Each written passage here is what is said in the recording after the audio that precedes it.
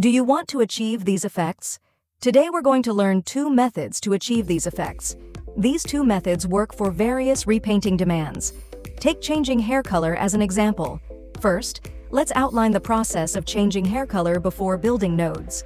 Step 1. Recognize the hair by manually smearing it or automatically recognizing it. Step 2.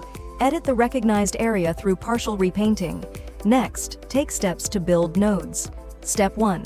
Recognize the hair. After uploading the image, add the segment, anything node, drag out the node, and load two corresponding models. Connect the image to the node and enter the area to be recognized, hair. To make recognition more precise for the mask, add another segment anything node to recognize the face. Connect the input to the models of the hair. Finally, add the mask mask node to subtract the face mask from the hair mask to get the precise hair part. When some parts cannot be recognized or are inaccurately recognized, you can use this mask subtraction method. Once the mask is generated, you can process the mask, such as adding grow mask and feathered mask nodes to expand and feather the mask, making the final repainted image more natural. Finally, add the preview image node to view the final mask effect. This way, the hair is precisely recognized. Step 2. Partial repainting. Add the previously mentioned Set Latent Noise Mask node, which will repaint the original image.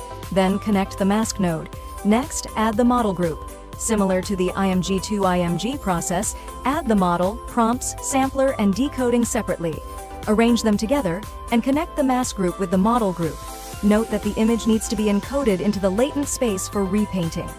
After connecting all nodes, enter the corresponding prompts based on your needs and set the relevant parameters. The maximum denoise, repainting strength, is 1. Now a hair color change process is done. When repainting the face, it is recommended to add the Face Detailer node to repair the face. Connect the input to the corresponding node. Besides, since only the face needs to be repainted, you don't need to perform mask subtraction.